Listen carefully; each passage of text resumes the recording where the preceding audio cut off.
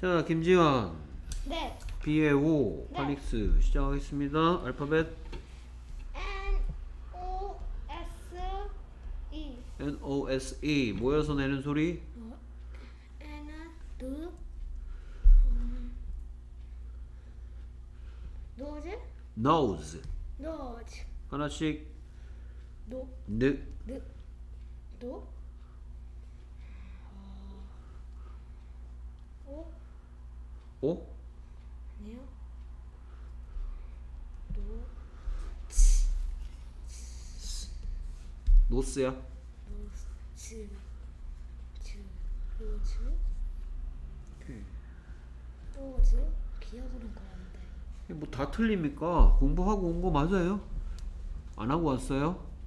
어, 또 열 번 쓰기 숙제? 어? 네. 또열 번 쓰기? 어? 네. 또열 번 쓰기 숙제 할 숙, 뭐야 벌 숙제 할 거냐고요? 네. 어, 그렇게 하기, 하기로 했어요? 네. 너 저번에 열 번 쓰기 안 했더라? 네. 어, 왜 안 했어요? 몰라요.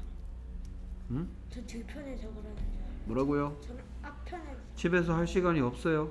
아니에요. 근데요?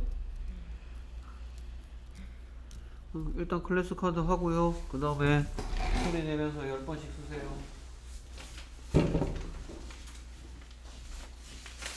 여기 뒷면에다가 총몇 개냐?